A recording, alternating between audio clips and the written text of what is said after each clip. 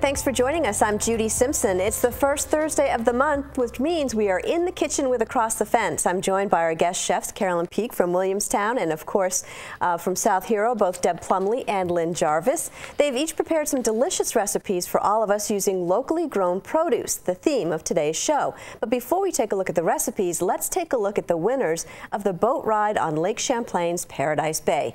Here are Alan and Debbie Dickerson of Grand Isle, and they're getting ready to board the boat with Lyn. Our congratulations to Alan and Debbie. Now, it wasn't long until they found a quiet place to enjoy lunch, which of course included Lyn's deviled eggs, my favorite. At the end of today's program, you can learn how you can enter our free drawing for this month's boat ride. And Lyn, looks like you had a beautiful day on the lake. We did. Uh, we lucked out to find a nice afternoon between all the rain showers mm -hmm. we've mm-hmm. been having. I enjoyed meeting uh, Debbie and Al, and they were a lot of fun. And we thought about you when we were eating those deviled eggs, so I brought two for oh. you for lunch today. Fantastic, just what I need. Thanks so much. You're I know have welcome. lots of recipes to get to, so Deb, why don't you start us off? Okay, absolutely. Well, as you can see by this beautiful basket of Vista Bellas, the apple season has begun, much to my grandson Cole's delight. So let's start with some wonderful apple muffins. These are chock full of chopped apples. The batter is flavored with brown sugar and cinnamon and they bake up just wonderful as you can see. And as an added touch though, I like to sprinkle a little bit of brown sugar on the batter before you bake it. And it just gives it a nice crumbly, crunchy topping. And this recipe makes about 18, so I'm sure they would freeze well if you didn't use them all up at one time. Now to complement the muffins, let me just move this here, we have this rosy potato leek soup. It features chopped leeks, potatoes, and tomatoes that you cook down in a vegetable broth that's flavored with some dried dill. Once everything has cooked, I use my immersion blender to puree it, and before serving, you add some half and half and some salt and pepper to taste. And I thought it looked really pretty with a dollop of sour cream and some fresh dill on the top. So enjoy that, if you will. Now this time of year, my garden has exploded, and I'm always looking for ways to use up some cucumbers. And short of chopping them up and putting them on my oatmeal in the morning, I thought perhaps these 48-hour refrigerator pickles would be a good way to use some cukes. Start with a clean quart canning jar, add sliced cucumbers, some garlic cloves, and fresh dill, and you cover with a brine just made of vinegar, water, and salt put it in the fridge, and two days later, you're going to have some great fresh cucumber pickles. Let me just tilt them a little here so you can see how pretty they are. And these will keep for several weeks in the fridge. They will get a little bit softer, though, as they sit in the refrigerator. Now, let's talk about this summer garden pizza. You start with kale pesto. And I have to say, before I made this, I was not a big fan of kale. But chopped kale is put in a blender with walnuts, Parmesan cheese, olive oil, salt, and pepper, and it makes about one and a half cups. It freezes very well, so you'll have plenty later to enjoy in the season. I took an artisan pizza crust, spread it with the kale pesto, and then I added sliced tomatoes. I have yellow and red for some pretty color. I had a little extra purple peppers, so I added that for a dash. Sprinkle it with shredded cheese, some oregano. 12 minutes later, you've got a great garden pizza, just ready to enjoy. Virginia Lange of Sheldon sent in this recipe for blueberry cake cups for two. It's a fabulous recipe. It's very simple. You bake them in 10 to a 12 ounce baking cups. And you want to use something that size because the batter does puff up during baking. But when it settles, you've got this beautiful dessert that's just studded with all sorts of fresh blueberries. And I think it looks great with some whipped cream and some blueberries on the top. So I want to thank you, Virginia, for sending this in. I think this recipe is going to be a keeper, and I'm so glad you decided to share it with us. Now, I think Carolyn has been quite busy in the kitchen, and it looks like she has a lot of great things to share. Oh, yeah, but cucumbers on your oatmeal? I thought maybe it would be a way to use them, but I think these pickles are going to be a better choice. I think I'd have to be awfully desperate. well, I do have a, quite a bunch of recipes for us today, and I'm going to start with, aha, my slow cooker, You know I can't get by without that.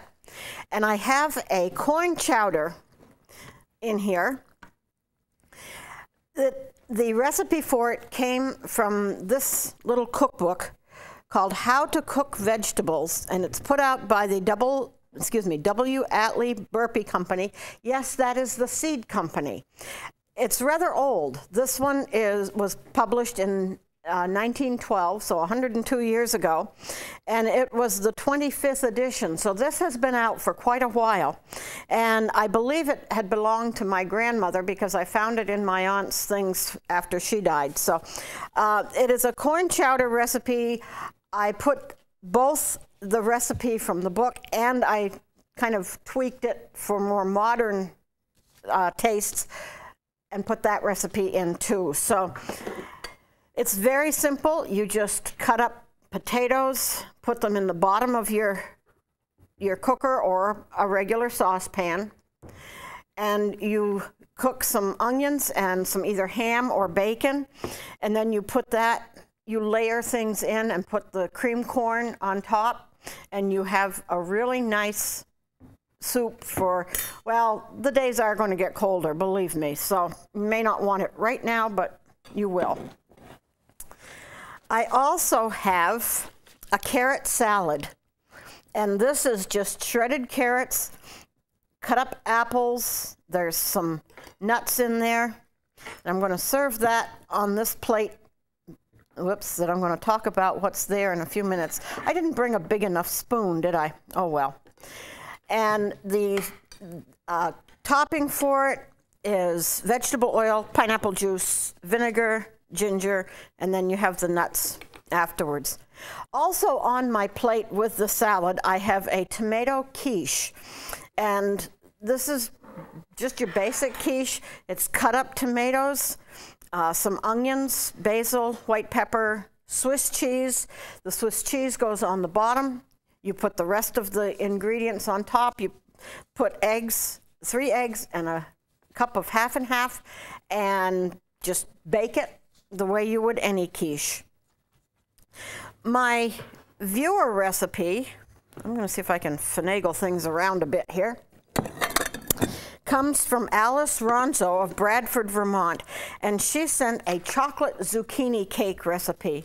And this makes up very quickly. She said you can cook it in a 9 by 13 pan. You can cook it in uh, two loaf pans or a tube pan. And I made it in the loaf pan because that way I could make two of them.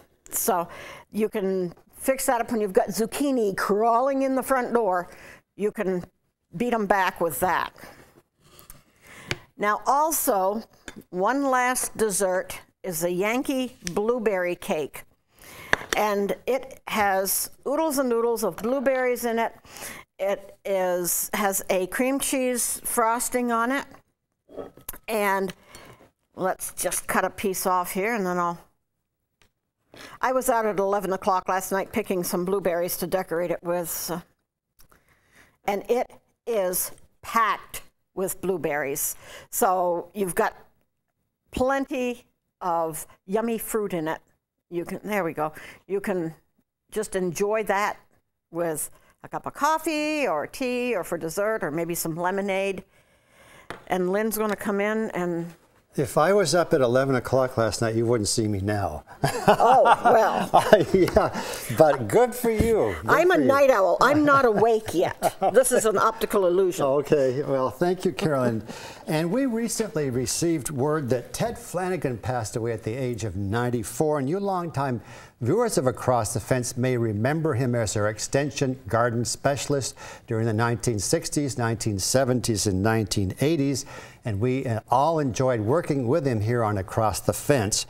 And speaking of gardening, this is a great time of year to be in the kitchen because we have so much locally grown produce available. And I got most of mine from Deb's parents, Ron and Celia, up at Hackett's Orchard in South Hero. And I'm going to begin with my homemade tomato soup. And here you see it. Uh, it's very easy to make, and there's nothing special about the recipe. The ingredients just seem to come together to create a classic and delicious soup. And all you do is boil and simmer three cups of tomatoes, milk, butter, baking soda, and spices, and serve immediately. And this is almost as easy as opening up a can, and it tastes just as good or a lot better. Now, this is my main dish right here. It's my pork chop casserole. It's made with locally grown potatoes, apples, and onions. And as you can see, it's made in layers. And on the bottom, there's the potatoes. Over that, there's the chops. Then you put on your apples and your onions. And the liquid can either be a chicken broth or a beef broth. And I chose chicken broth. And it comes out to be a very, very delicious casserole. And as Carolyn said, with the cooler weather coming, I'm sure you'll want to give this recipe a try. Uh, my next recipe is a viewer recipe. It comes from Donna Waldron down in Burlington, and we thank Donna for that. And it's right here. It's her savory squash casserole. And you can use yellow or zucchini squash, whichever you prefer. And like my tomato soup, the recipes just seem to come together to create a delicious flavor. Easy to make with the zucchini, as you can see. In here, there's also onions, eggs, grated cheddar, and maybe the secret ingredient is a couple of slices of buttered bread. Uh, bake at 375 for about 25 minutes, and you're all ready to go. And people who say they don't like zucchini, might be surprised by this. Well, I really enjoy making desserts this time of year because we have so much locally grown produce available. And this recipe here, uh, I found in this magazine. It was uh, printed back in 2008, the Caledonia Record Recipe Contest publication. And in it was a recipe from Laurie Ann Ackerman of Swansea, Massachusetts for her blueberry pudding cake. Now, you viewers like pudding cakes because they're so easy to make. And the proof of that is there's less than 60 words in the instructions on how to make this recipe. Now, let me show it to you. Um, of course, in here, all you basically do is put blueberries in the bottom of the dish, put some uh, dough over that and bake it about 375 for 25 minutes and you're all set to go maybe with a little ice cream or whipped cream and you're all set. It's a wonderful easy recipe with fresh blueberries and just take a look at that. Really good. And now I'm going to move on to um, another recipe, a couple of recipes that I found in this um, little piece of paper. It's from the Pocket Cookbook and I bet it goes back 40 or 50 years. You viewers know I have a lot of recipes. You send them in to me. I have ones from my mother and grandmother, so I had a lot to choose from. And on this little piece of paper were two that fit the theme for our show today. And the first one is right here. It's this fresh plum crumb pudding. And if you take a look at it, you can see how it's made. It's made with, uh, I guess I've got my wrong recipe here. Where's my plum pudding. It's right here. this is the fresh plum pudding. As you can see, it's made in little custard cups, and it's made by alternating layers of plums with graham cracker crumbs, with melted butter, cinnamon, nutmeg, and to top it off, you want to put on a nice scoop of ice cream. And this is really good. You want to serve it warm when the plums are nice and tender and it hasn't become uh, hardened from time to uh, set. So there's that. And my last recipe is the one I was going to show you. It's this, uh, my favorite, the Cherry Betty, and I'm wondering if any of you have ever heard a recipe like this before. It's made in layers. Uh, cherries are alternated with graham cracker crumbs, corn flakes mixed with brown sugar, cinnamon, and nutmeg. Dot the top with butter, bake at 375 for about 20 minutes put some ice cream on and you have a delicious recipe and wasn't that a mess? it was fantastic though. You really outdid yourself with all these recipes. I just wanted to return your container. Oh, thank you. Oh, I'm glad you enjoyed them. the eggs are them. gone. now, um, We should also say that now we've got a couple of different ways. If you're interested in today's recipes, you can get them. The information and the information to enter our free drawing for the boat ride and lunch on Paradise Bay in South Hero. You can get the recipes online from the Across the Fence website. Go to uvm.edu slash extension. Click on the link to Across the Fence and you'll find the recipes on the left-hand side of the web page. To get the recipes by mail, send $2 and a stamped self-addressed business size envelope to locally grown, Box 188, South Hero, Vermont 05486. And remember, if you're ordering the recipes to include $2 and a stamped self-addressed business size envelope, your order will automatically enter you in the free drawing for the boat ride. The address again is Box 188, South Hero 05486. If you're not ordering the recipes, just send along your name, address, and phone number to the South Hero address, and that will enter you in the drawing. Good luck. Once again, our thanks to Deb and Carolyn and Lyn for all the wonderful recipes. We hope that you're able to visit and enjoy all the fair and field days that are happening around our viewing and that you'll be able to join us on September 4th when our In the Kitchen theme will be perennial favorite apple recipes. That's our program for today. Thanks for joining us. I'm Judy Simpson. We'll see you again next time on Across the Fence.